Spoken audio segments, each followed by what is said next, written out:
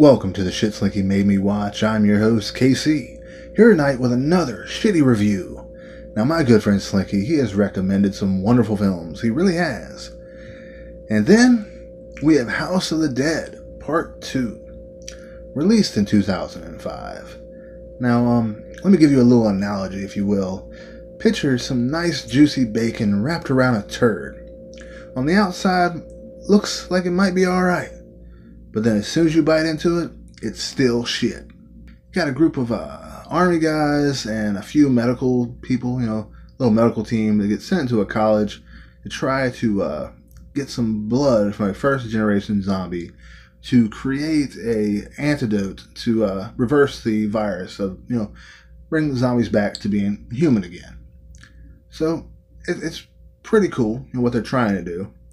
Uh, the movie opens up at a sorority house. group of guys go in with some uh, water guns filled with light beer and just soaking all these uh, girls down. They're all wearing white tees. So you get a couple of nipple shots. You know that was kind of nice. There's a girl upstairs getting banged out, and she's got some stupendous titties. Uh, got a couple, couple uh, honorable mentions, if you will. Some really good actors in this movie. Sid Haig, the legend himself. He's playing a uh, professor and he's created this uh, serum to bring people back to life. So, uh, and it, it works. So yeah, that was uh, it was nice seeing him. Uh, you got Rachel from Halloween, Ellie Cornell, no Halloween four and five, part five. Uh, arguably the worst Halloween in the series, other than Resurrection, but I'm not going to get into that right now. But you know, decent acting. I mean, the acting wasn't terrible. Uh, we got some mutated third generation zombies that have like developed these fangs type things where they're able to chew through armor. So that was I don't really see the whole point in that in that end, but whatever. You know, they did. We have uh, lines like John can't come to the phone right now. He's dead. We got zombie titties. And then with those same zombie titties, one of the army guys decides he's going to hold this dead zombie up and take a selfie. Just so tasteless and not classy at all. We have uh, lines like reload when you're in the middle of shooting zombies.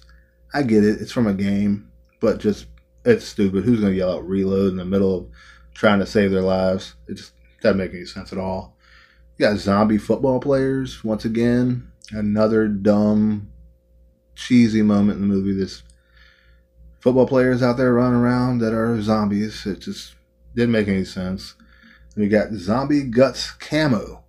Guy rubs all over himself to be able to walk through a horde of zombies. It was nasty, but I can understand why it was done, but it's disgusting. and also one thing, well, not just one thing, but big thing that I noticed that uh, I don't know how they overlooked this, but uh, one of the main guys he gets zombie blood into his mouth and somehow does not turn. Which doesn't really make any sense because in the movie, I mean, if you get bit, you turn. You get like scratched a little bit, you're going to turn into a zombie. One guy gets bit by a mosquito and slowly turns into a zombie. So getting blood in your mouth, I think, should definitely turn you into a zombie. So that's something that I wish they would have maybe changed just a little bit because it just didn't make any sense.